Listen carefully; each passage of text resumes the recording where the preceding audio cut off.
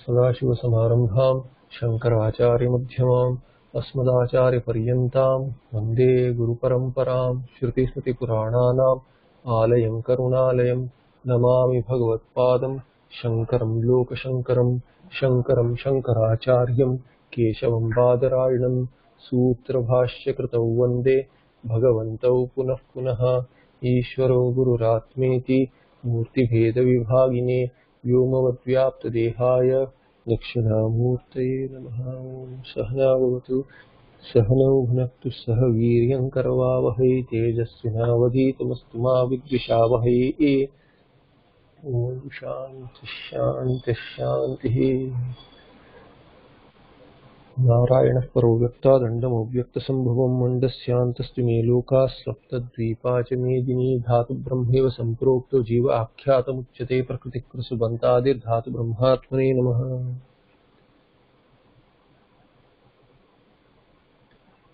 So, uh, we saw the uh, 23rd shloka in the 6th chapter. Tam vidya dukkha sanyoga vyogam yoga sanyitam sanischena yuktavya yogo nirvinna chetasa. And uh, meaning we saw sorry anvaya dukkha sanyoga viyogantam yoga sanyitam vidyat one should know. And we took this uh, uh, backwards and made the sentences complete here in the earlier few shlokas because they are not complete without uh, this part that know this know this as what is called as yoga. All these are kind of explanations of what this dhyana yoga is what is that finally? Dukkha Sanyoga Vyogam. That which is uh, uh, that separation from association with dukkha. Whatever is producing dukkha is this anatma vastu. And association with the anatma with ahankara bhava, tadatmya sambandha, and thereby mam, with mamakara with other vishayas which are also anatma, one has dukkha sanyoga and separation from that dukkha sanyoga that is also yoga. So yoga can be seen two two ways. One is union and the other is separation. Both can be uh, the meaning of yoga. So separation from dukkha and association with sukha is yoga really. How does that work? Separation from anatma is dukkha sanyoga yoga and association with oneself meaning remaining oneself in the Shuddha Swarupa that is the Sukha Sanyoga. That is called as yoga. And know that tam yoga sanyitam vidya, know this to be, so this should be known rather, this should be known as yoga or what is called as yoga.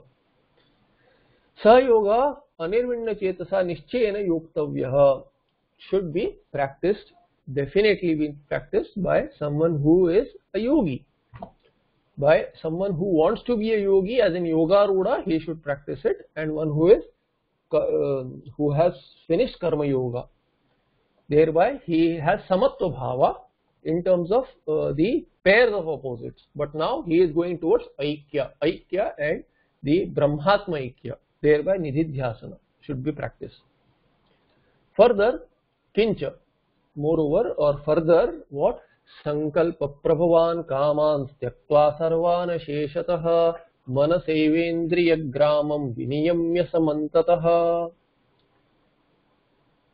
संकल्प प्रभवान कामान त्यक्वा सर्वान अशेषता त्यक्वा having given up all the kamas completely without anything remaining which are which are these kamas these kamas are प्रभवान संकल्प प्रभवान meaning those for which the source is sankalpa. Sankalpa here has the meaning of fancy. We have some shobhanadhyasa. This vishaya will bring this sukha. So this kama here is kamyate iti kama. It is karmani vitpatti, thereby vishaya. Shabda svarsa, uh, shabda sparsha, rupa rasa gandha. These are the vishayas towards which we have some kind of uh, imagination. There is a fancy which is the source for these vishayas. we indulge in those due to the uh, imagination, the fancy which is not there. There is a Shobhana Adhyasa meaning superimpose some value which is not there. For example, gold. How does gold get its value? all over the world. We may say that based on the uh, based on the amount of gold, the currency gets the value in for any nation. And how does gold itself gets its value? Historically, gold has been less, and uh, for Indians, it comes from Shastra. Gold gets its value from Shastra, but otherwise, uh, the lesser the availability, the value goes up.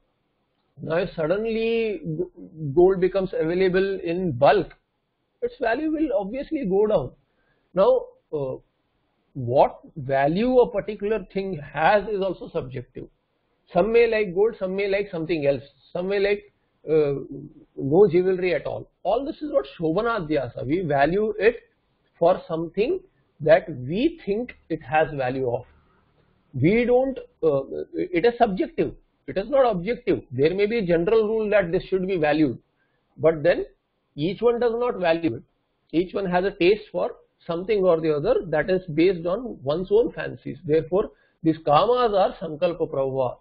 Sankalpa it's a बहुरी संकल्प प्रभवा येषाम ते येषाम कामानां goes kamas are what they are संकल्प प्रभवान कामान दे are संकल्प प्रभव काम एंड इन द्वितीय बहुवचन दिल विद संकल्प प्रभवान कामान, सर्वान त्यक्त्वा, सर्वान संकल्प प्रभवान कामान त्यक्त्वा हाउ मनसा बुद्धिया through the buddhi mana is the meaning of buddhi through buddhi through viveka asheshata and completely not uh, not by saying that okay only these things I will leave some other things not by uh, making a choice among these.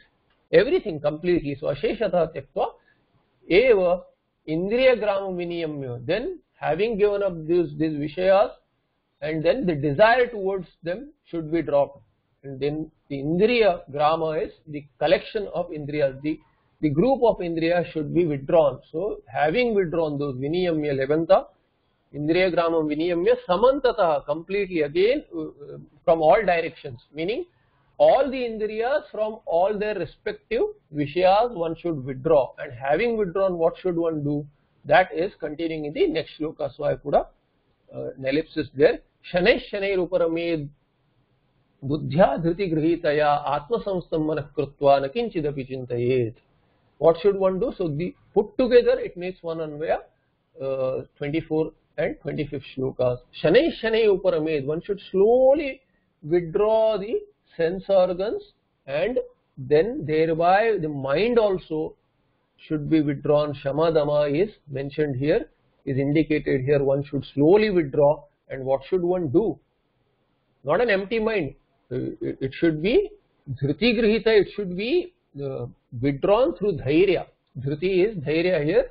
Through dhairya it should be withdrawn all the sense organs and the mind has to be withdrawn, mind should be withdrawn and the buddhi should be withdrawn and then finally atma samstam manaha atma samstam krutva having made the mind to be placed, having restricted it from the from moving outward and bringing it inward, having placed it in one's own pratyagatma, real self, कृत्वा न किंचिदपि चिन्ते then one should not think about anything else meaning it's one should not let any other idea hijack this meditation one should not let the mind to be withdrawn from the atma also and then let haywire or one may fall asleep one should be alert there and alert in thence not to fall asleep not to let the mind to have some fancies, not to indulge in the indriyas even in the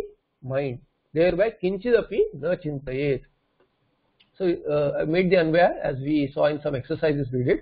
So sarvan sankalpa pravan kaman manasa asheshatha tyaktva eva indriya gram samantatah viniyamya शनै शनैः धृतिगृहीतया बुद्ध्या उपरमेत् one should withdraw and then manah atmasamstam krutva kinchidapi na chintet one should not think about anything else.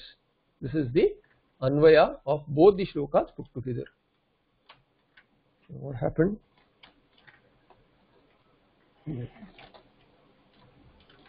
For some reason uh, this is not working. Let it be. I was planning to mark it. Okay, tatra evam atmasamstam manah kartum pravruttah yogi. What should he do? The yogi who is pravritta, kartarikta, one who is engaged. Engaged to do what? So, tatra evam atma manah atmasamstam kartum pravruttah.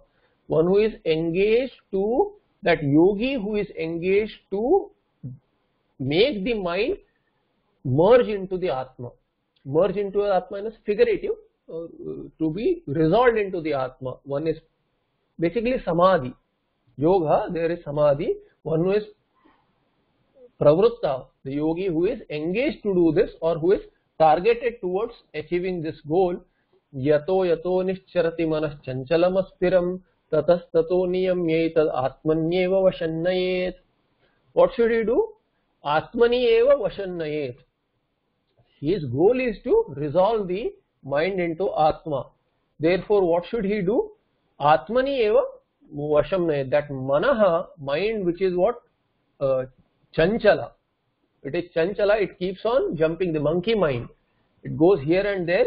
It we cannot keep it under control. That kind of a mind should be controlled. Yata yata nischarati from uh, towards whichever object it keeps on going it should be brought back from that.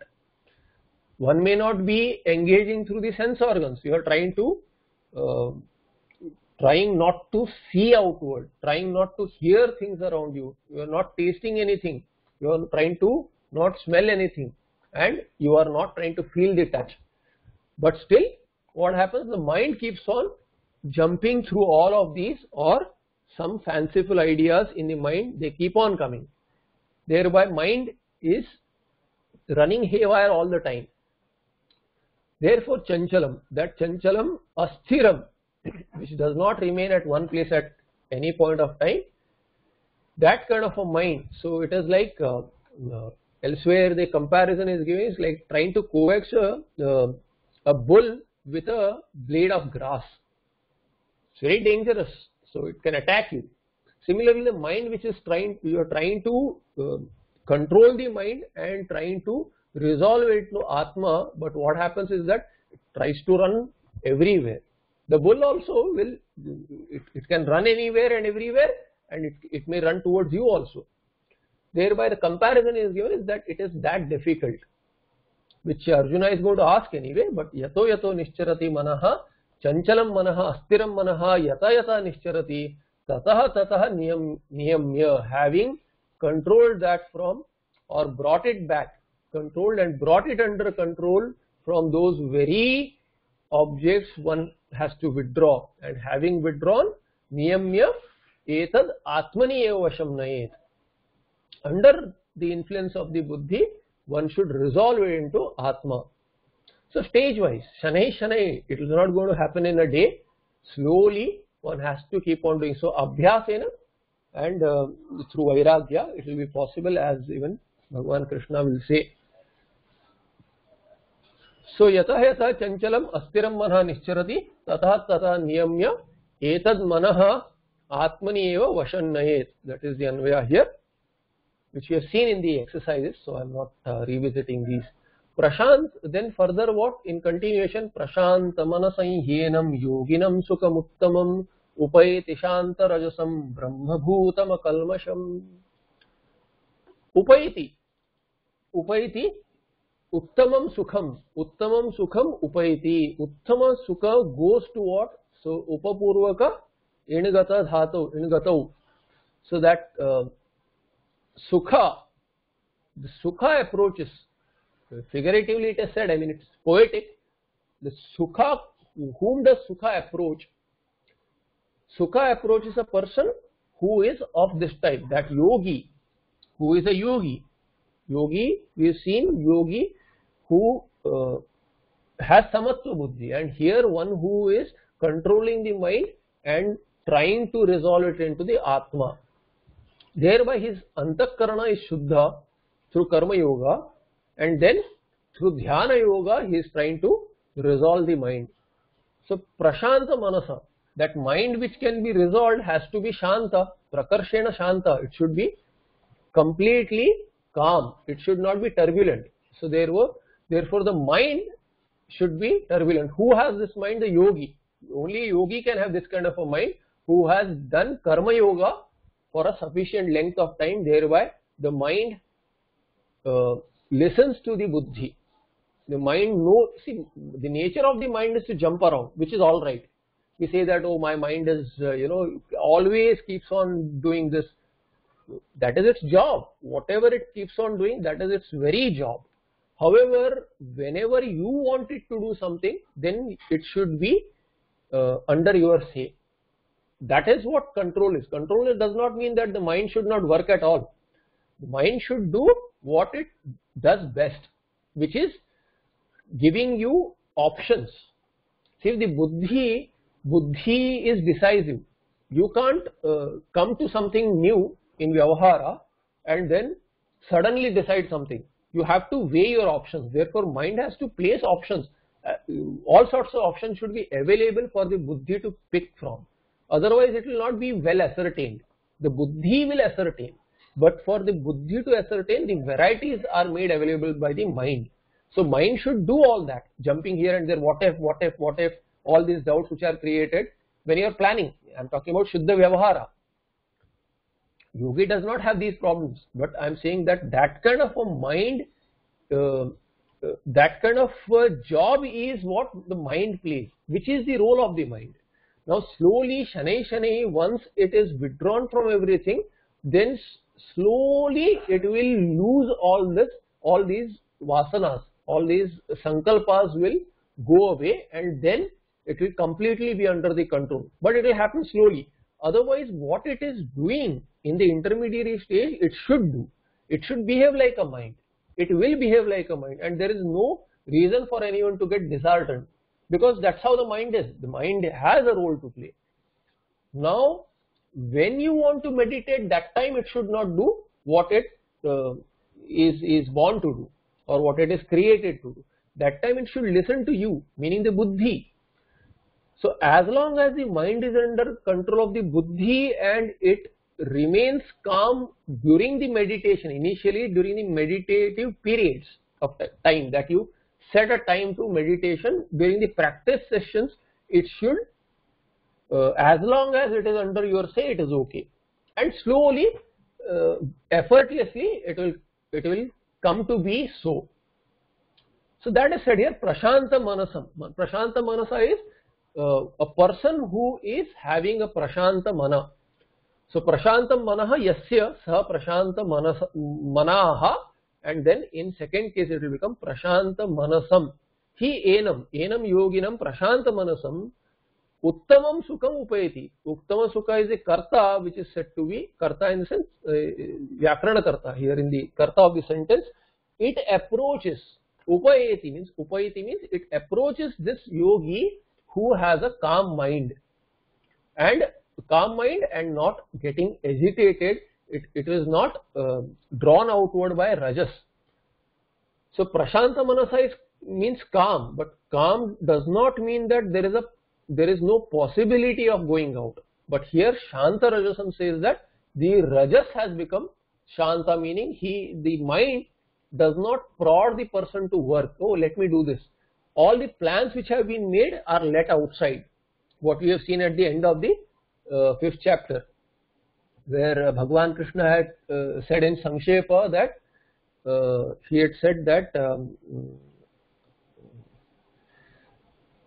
Bahikritva, what was the verse?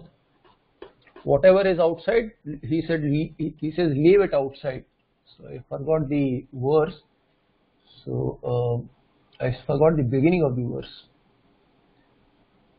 Okay, it's gone to the Prathamadhyaya, unfortunately. Okay, anyway, just because I re recalled that, I just wanted to quote that. Uh, okay, it's easier to look up in the book. I have a book somewhere here. So,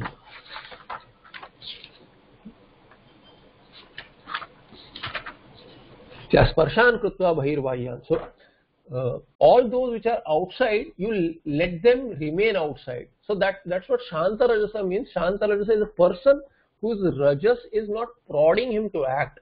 He leaves all that which was planned and which is going to be uh, which is planned for the future all of that is set aside during that meditative session at, at least during that time.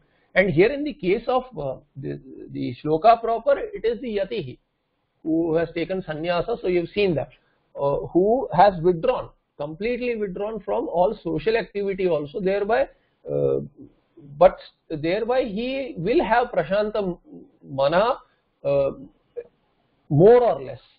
But then he has to train his mind to remain so. Thereby shantarasa it should not even prod him to do any other activity during that time. Be it uh, be it an activity of a sannyasi.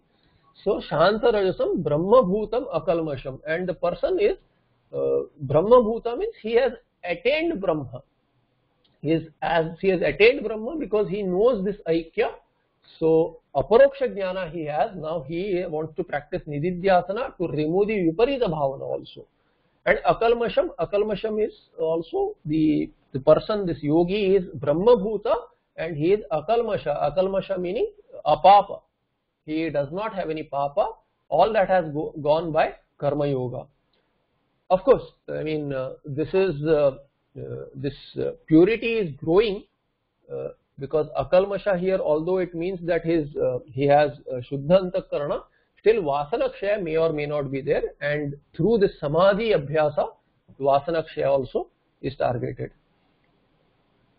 thereby uh, uttamam sukham uh, kam upaiti prashanta manasam yoginam who is what शांत रजसम ब्रह्म भूतम अकलमशम प्रशांत मनसम ही एनम योगिनम उपैति।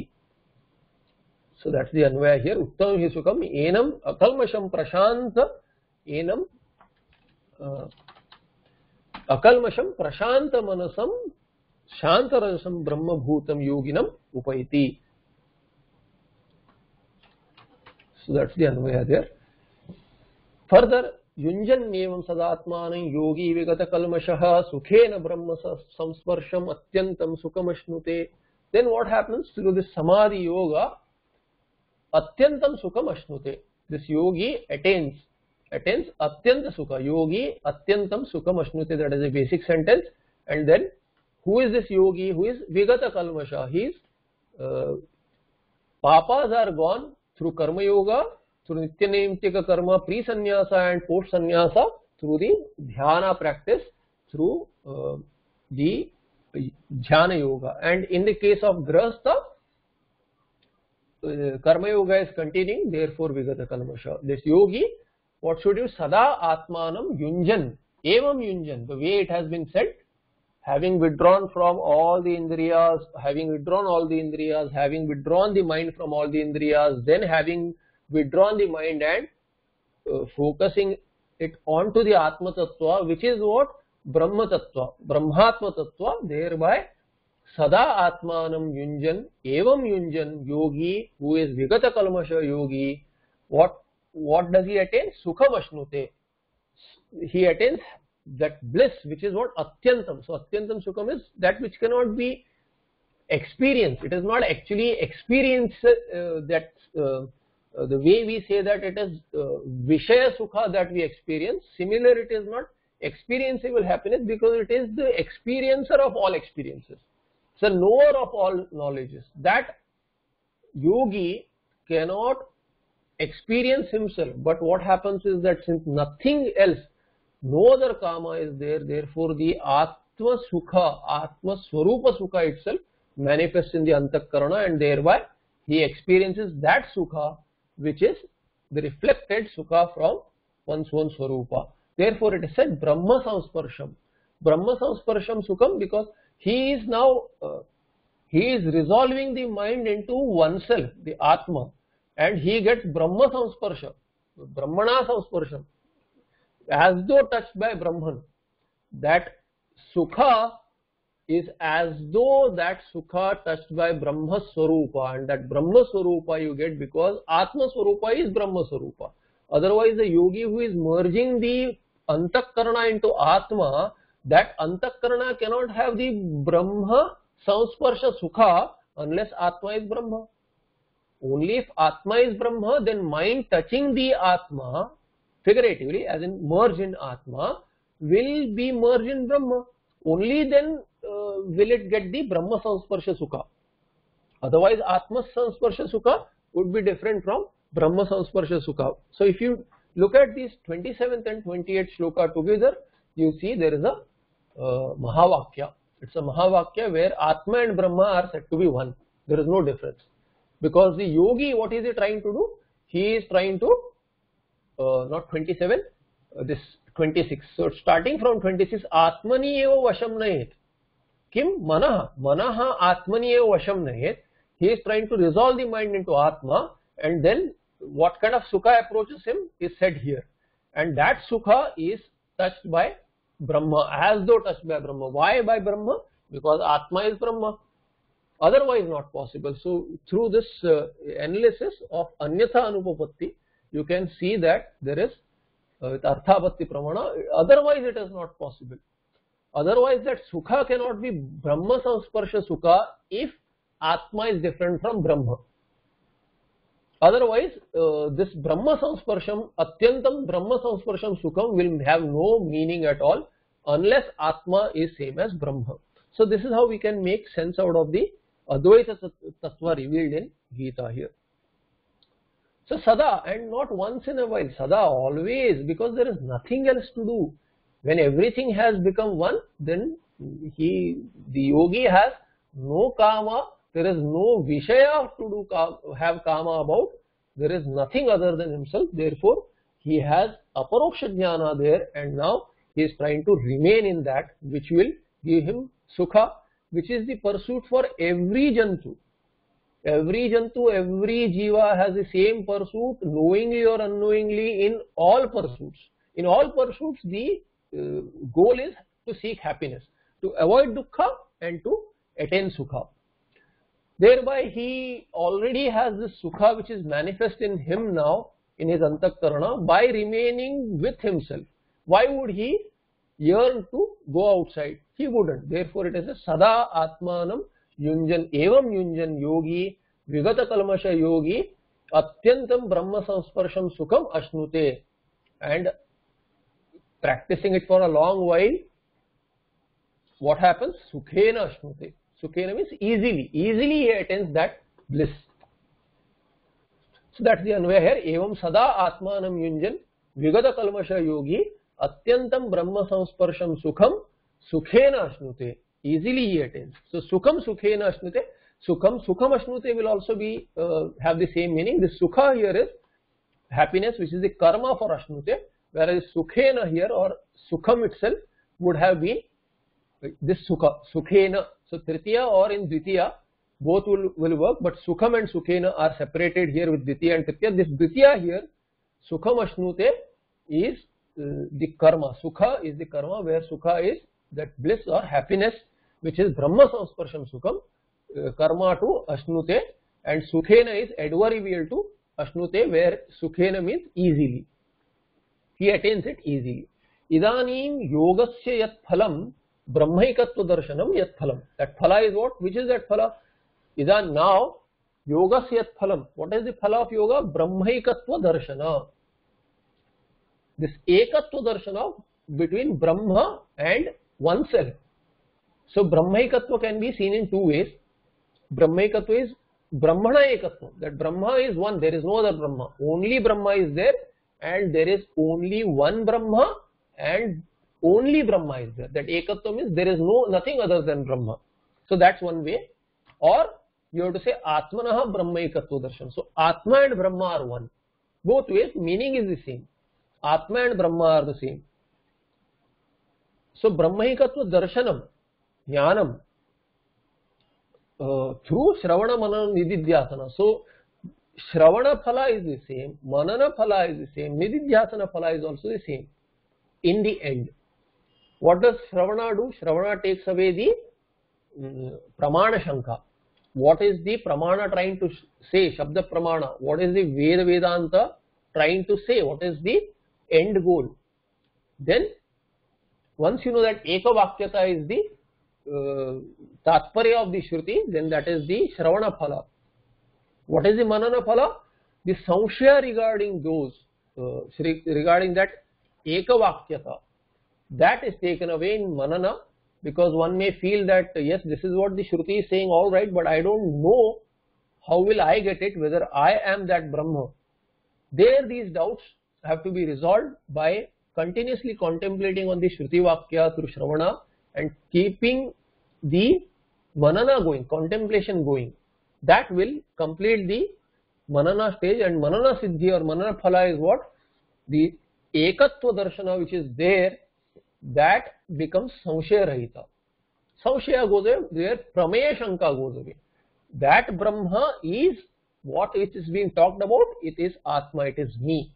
And then there is Viparita Bhavana which goes away by Nididhyasana. Viparita Bhavana is due to the uh, the vasanas which are being have been there since Ananta Janma which tell us that we are a limited being and they bring about these obstacles to the the Brahmaikatva Darshana itself being in that. Therefore Brahmaikatva Darshana is a phala at all three stages one with respect to what Shruti is trying to say another with respect to the doubts which uh, don't let me understand that I am also the same thing.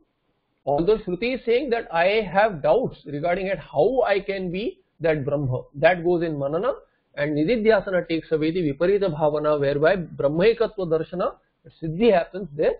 Therefore, idanim yogasya yat phalam brahmaikatva darshanam सर्व संसार विच्छेद कारण तत्प्रदर्शते and what is that brahmaikatva darshanam nothing else remains to be done after that सर्व संसार विच्छेद कारण it is moksha which takes away which is those which is those for vichchheda of sarva samsara which which destroys all samsara really and thereby being those for destruction of all samsara तत्प्रदर्शते that phala of yoga is shown in the next shloka which says सर्वभूतस्तमात्मानं सर्वभूतानि चात्मनि ईक्षते योगयुक्तात्मा सर्वत्र समदर्शनः सर्वभूतस्थम आत्मानं सर्वभूतानि च ईक्षते ईक्षते पश्यति हु योगयुक्तात्मा is yogena yuk, yuktam no not yuktam yuk, atma is uh, pullinga so yogena yuktah atma is equal to antakaranam yasya saha yoga yukta atma so one whose mind is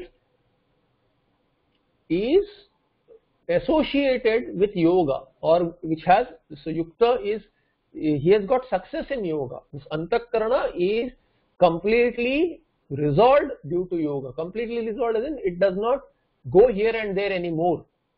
Thereby samatva bhava is there. It, it understands this uh, antakarana is not tainted with uh, dvaita bhava.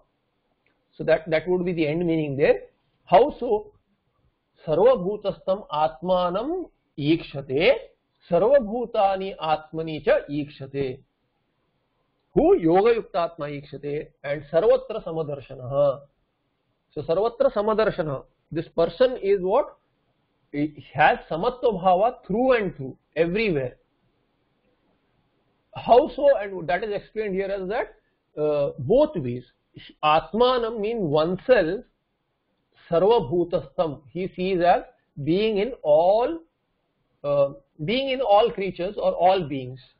Everywhere he sees oneself and other way also Sarva Bhutani cha Atmani Ikshate. He sees everything all is so bhuta there can mean uh, sentient beings. It can also mean uh, the insentient. So sentient and insentient both. He sees himself in all the sentient and insentient. This is the first half. And then first half as in the first uh, quarter. And then the uh, second quarter says that sarvabhutani cha atmani sarvabhutani meaning all the uh, sentient and ancient things he sees in himself.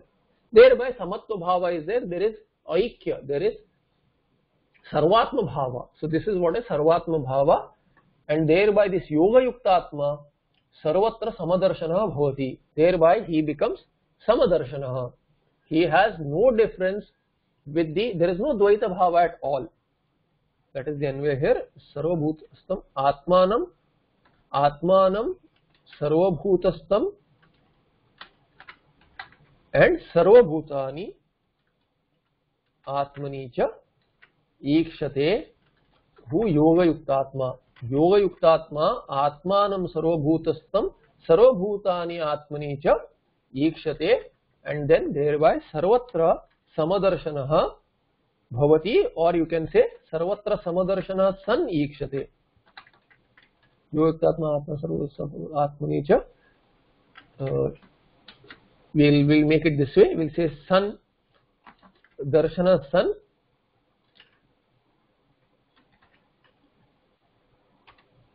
many anvayas are possible will keep it simple योग युक्त आत्मा सर्वत्र समदर्शन सन आत्मा सर्वभूतस्थम सर्वभूतानि आत्मनि च he sees himself everywhere and he sees all of the things in himself etasya atmaikatva darshanasya phalam uchyate what is the result of this uh, sarvatma bhava seeing atma as one everywhere see what it means by saying that he sees everything in himself and he sees himself everywhere means he does not see anything other than himself. Meaning he does not see anything other than Brahmatma, he does not cognize anything other than Brahmatma. There is no division at all. So there is no seeing really, there is no, the seeing is figurative. Whenever there is some division initially, after this samadhi or uh, this aikya jnana, aparoksha jnana, then due to the earlier tendencies, there is some division created. And that shanai shani, that will also go shanai shani. So whenever he sees it, if at all he makes a bheda in shabda rasa, rupa rasa, gandha, anything, uh, shabda sparsha, rupa rasa, gandha, what happens is that immediately the aikya jnana uh, resolves all that Thereby the Sarvatma Bhava also gradually becomes very easy and it becomes his natural state. Thereby etasya atmaikatva darshanasya phalam uchyate. What happens when that uh, gradually settles down to such an extent that he does not have to make an effort. So what is that samadhi becomes sahaja, which Bhagavan Ramana Maharshi used to call as sahaja samadhi. Although Shastras talk about, Yoga Shastra talks about uh, um, the two types of samadhi and in Vedanta also two types of samadhi which are same as samprajnata samadhi or savikalpaka samadhi or asamprajnata samadhi or nirvikalpaka samadhi. These are the two types of samadhi.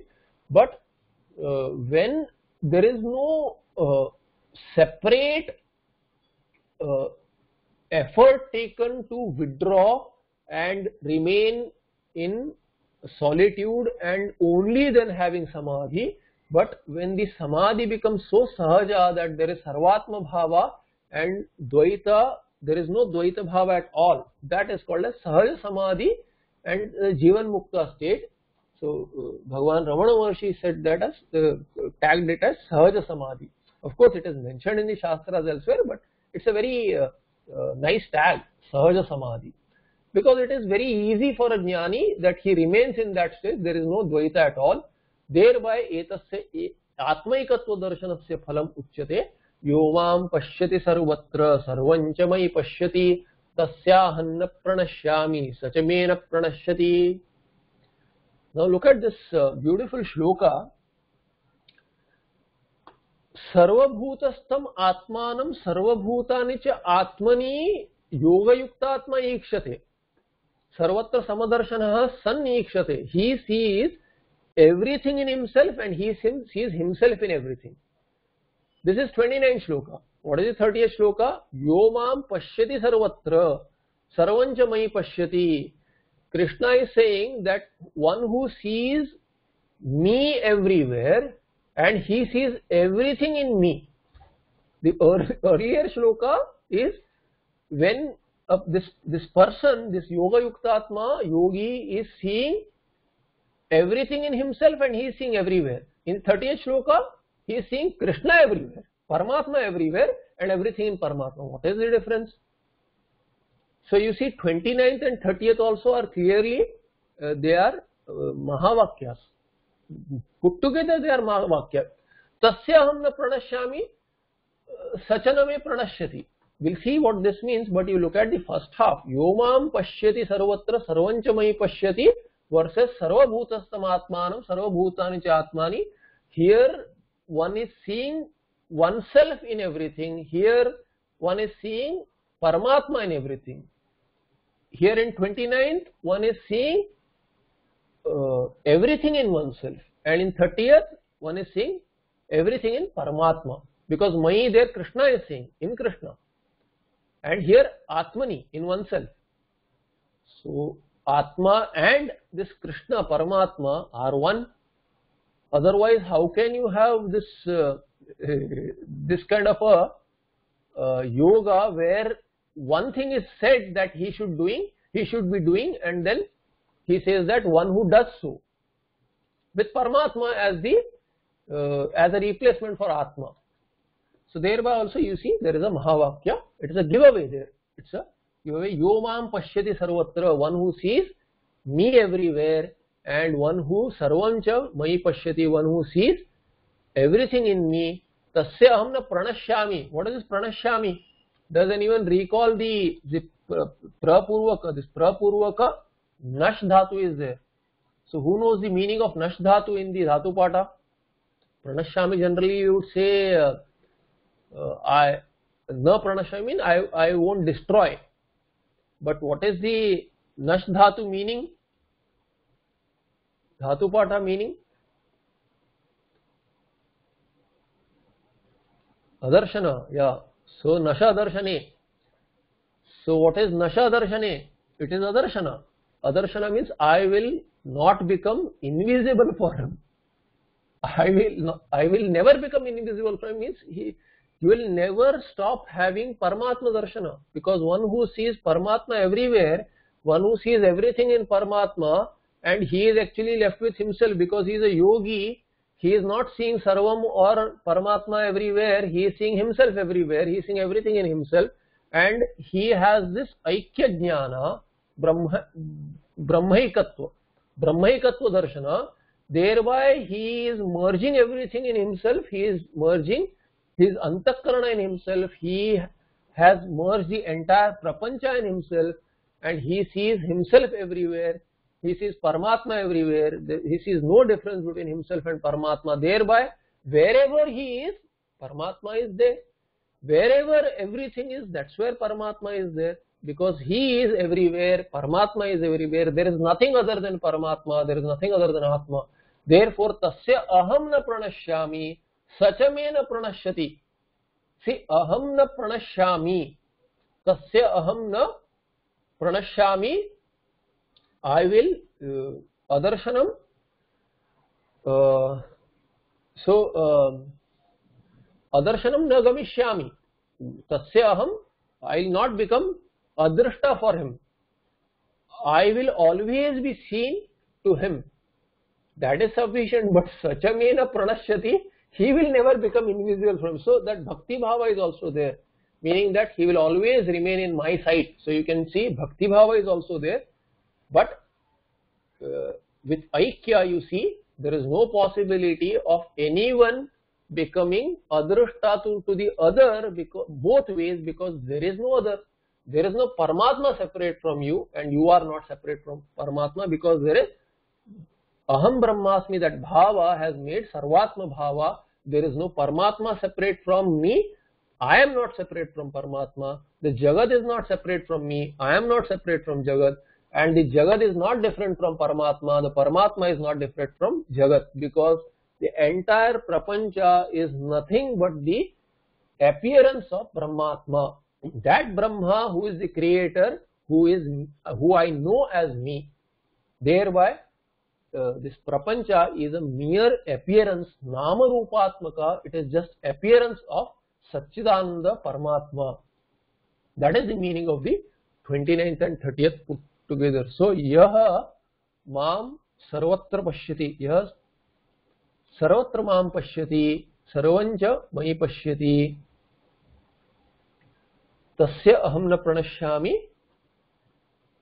सच मे न प्रणश्यति। This anvaya is okay we understand the meaning there not much to be done so that is Bhagavan vachana here इति एतत् पूर्व श्लोकार्थम सम्यक दर्शनम अनूद्य तत्फलं मोक्षः अभिधीयते now what is done is it is there is a sum up done of what has been said so far iti etat purva shlokartham whatever has been said in the earlier shloka having repeated that as in for conclusion having summarized that anudya and tat phalam moksha abhidiyate the phala of that is moksha that is being mentioned in the next uh, shloka 31st shloka सर्वभूतस्थितं यो माँ भजत्येकत्वमास्थितः सर्वथा वर्तमानोऽपि स योगी मयि वर्तते। सर्वभूत स्थितम यह भजति one who worships me how सर्वभूत स्थितम माम सर्वभूत स्थितम I who am present in all living being सर्वभूतेषु स्थितम सर्वेषु भूतेषु स्थितम इज़ सर्वभूत स्थितम यह माम एंड हु इज़ परमात्मानम Paramatma who sees this Krishna Paramatma as a worships as Sarva Bhuta Sthitam, who is there in all, all beings. How? Not as an individual sitting at each place. He is not an individual, he is not segmented at all. Ishavasyam idam sarvam.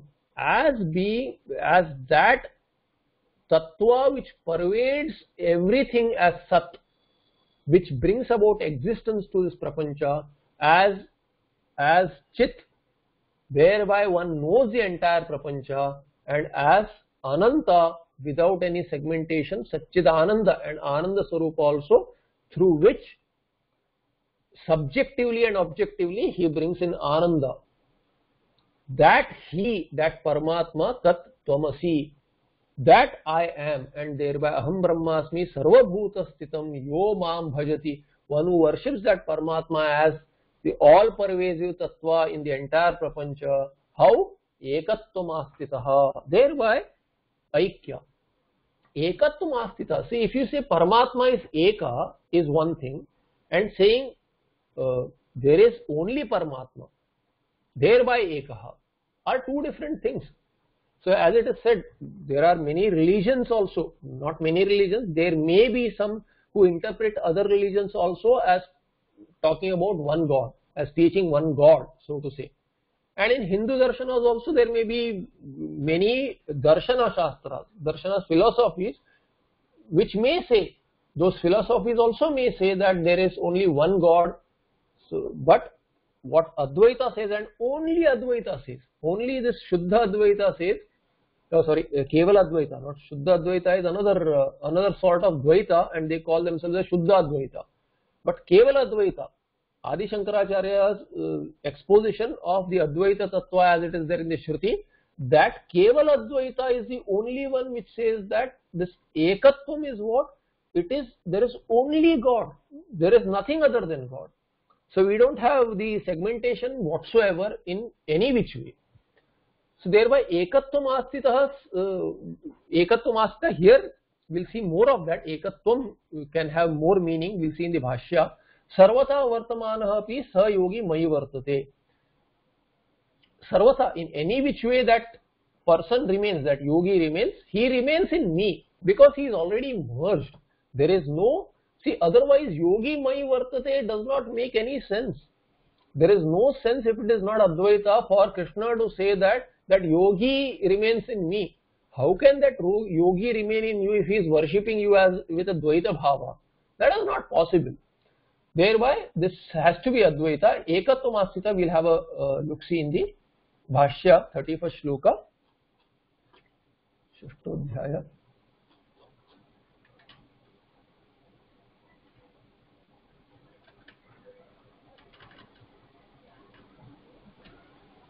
For some reason it opened the fifth chapter. Something wrong with this uh, today.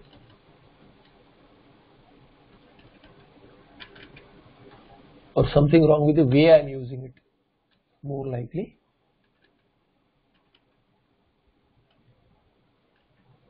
Okay, so what Bhagwan Bhashyakara says, Yo mam pashyati vasudevam sarvasya atmanam, one who is the atma of everyone, one who is present as I, I, I in every sentient entity, he is the pratyagatma. not separate, not watching over, not as karma phaladata, but as I, I, as the very content of the jiva, of the very content of the vritti, aham, aham vritti, as the very subject, as the very cognizer, as the very witness, sakshi, who says I am the subject, that yo mam pashyati va sarvasya atmanam sarvatra sarveshu bhuteshu sarvancha brahmadi bhutajatam mai sarvatmani pashyati and one who sees everything in me sorry 30th why did it go to 30th okay uh, anyway so we have seen that so let's complete tasya evam atmaikatva darshina aham ishvara na pranashyami na parokshatam gamishyami always remain aparoksha he always remains aparoksha meaning he is one with that योगी सच में प्रणश्यति, सच विद्वान मम वासुदेव से न प्रणश्यति, न परोक्षो भवती। So both means there is aikya, तस्य च मम च एकात्मक that is the reason it is said in both ways to take away the doubt that there is only one side merger as in you are a part of Paramatma and ansha so that are the you are the overruled all these ideas will go when both side it is mention The Aikya is not figurative. The Aikya is real that can be established only in both ways. Only when it is said in both ways. So it is said Ishvara na pranash aham na pranashyami tasya and then uh, other way also mama vasudevasya na pranashyati saha both ways why tasya cha mama cha ekatmakatvat both ways the aikya is true because there is uh, the both ways is only from vyavaharika thinking there are no two at all स्वात्मा ही नाम आत्मन प्रिय भवती अस्माच अहम एवं सर्वात्मकत्वदर्शी। Thereby uh, and we see that atma is this sukha swarupa we will not go into this in detail here प्रिय एव भवती। One is dear to one self this is takes cue from Brihadaranya shruti where everything which is done is for atmaswarupa sukha. Everything is for sukha and that sukha is one own swaroop. Therefore when bhagwan is dear to you or when you are dear to bhagwan it is only because the inner self is dear and there is no separate inner self for Paramatma and you because the content of both is Ananda Satchidanand Swarupa. So we were looking at this, uh, we wanted to have a, uh, this Ekatvam Astita, have a look see there. सर्वथा सर्व प्रकारैः वर्तमान अपि सम्यक् दर्शी योगी मयि वैष्णवे परमे पदे वर्तते नित्यमुक्त स न मोक्ष प्रति कचि प्रतिबद्यते nothing else to be said here because एकत्वमास्तित who remains in this oneness with me so again as I said this ekatvam can be seen in two ways one is that atma is one एकत्वमास्तित or Paramatma is one but one here means only Paramatma or only atma meaning both are one thereby only Paramatma exist or only atma exist or other way around as in Paramatma and atma are one thereby एक आस्थित सन सर्वभूत यह यह आस्थित who is एक आस्थित who is merge in this oneness or who is remaining as this one tattva thereby सर्वभूत स्थितम यो माम भजती and this bhajati you can say worship if you say or if you say as one who does seva whatever you are or bhakti bhava all that is what it is advaita bhakti by ekatvam asthita it means by advaita bhakti or one who worships uh, as in uh, devo bhutva devam yajit so even in uh, in puja puraskara what has to be done is that when you are worshipping the the worshipped is me this is the bhavana with one should do worship thereby the mantra itself says devo bhutva devam yajit whoever you are worshipping you have to become that that's why you do anganyasa all this anganyasa is lost on dvaitins when you invoke the lord in you what are you doing you are in, when you invoke the Lord in you, you are the Lord. That is the bhavana with which the worship has to be done. That is not possible unless there is aikya. You cannot invoke in your anga and in your kara, nyasa, in all this you cannot invoke the Lord unless the Lord is you. What is the invocation for? Otherwise, worship the idol. Invoke the Lord in the idol.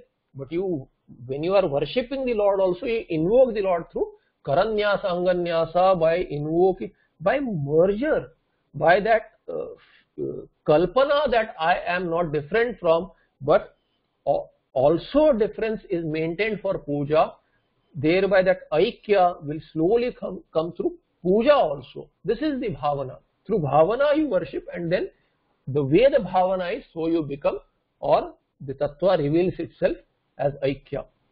Therefore, यो माम भजति एकत्वमास्थिता एकत्वमास्थिता यो माम भजति there by ऐक्य भावेन य भजति सर्वथा वर्तमान अपि स योगी मई वर्तते and there wherever he is however he is that yogi is one with me because he has got ekatva darshana and he is ekatva asthita therefore he can never be separate from me he already knows and he has understood tattva completely through aparoksha through sakshatkara and thereby he cannot ever separate from me that is the vachana of the thirty first shloka by Bhagavan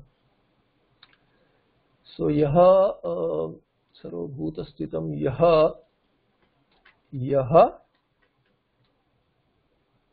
एकत्वमास्थितः सर्वभूतस्थं माँ भजति। सह योगी सर्वथा वर्तमान अपि मयि वर्तते। So this is the anvaya here.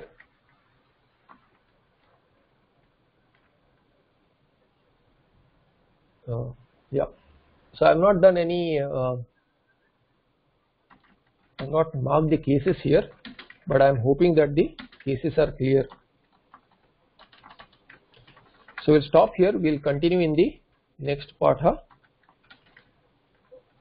एकत्वमाश्रित सर्वथा वर्तमान अपि सह योगी मयि वर्तते he remains merged in me that is the वचन here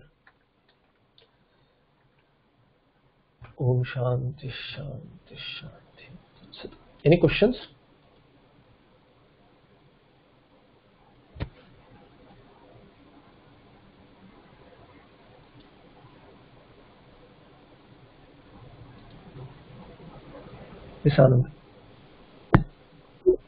Uh, you mentioned uh, something called Shobana Adhyasa. Can you explain that? I mentioned this earlier and I think uh, Bhavya had asked it uh, a few classes back. Ah, Shobana yeah. Adhyasa is, uh, Adhyasa you know right, superimposition. But Shobana is the, the value. See, uh, Shobana is whatever, see, uh, for eyes what is Shobana? Beauty is Shobana. For ears, what is this? Some melody is Shobana. Some taste that you like, whatever. If, if you like uh, some spicy thing, then that is shovana in, in whatever is, uh, whatever can be tasted in some food. If you like sweet, then that is shovana for you. but uh, whether sweet or uh, whether it is bitter or spicy, that is the quality of the food. But shovana is what? see adding value to it that is subjective so i may like sweet you may like spicy but the same food need not be seen by everyone in the same way.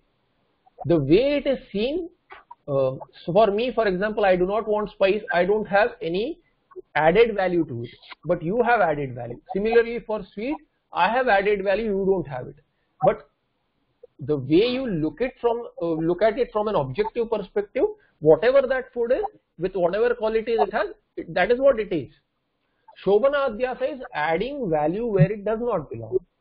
That's why i gave the example of gold where value may or may not be but as soon as you start adding value it starts gaining more and more value. So that is shobana adhyasa meaning superimposing a value where it does not belong. And what is the idea? In all Vishayas generally we add a value through our tainted by our ragadvesha and the actual result that we are looking at is sukha there. So the end goal of that Shobana Adhyasa is still sukha. So Shobana Adhyasa is seeing value where it does not belong, really does not belong. Adhyasa itself is that, but Shobana Adhyasa is the uh, superimposition of the value not the Vishaya. Vishaya itself is superimposed really.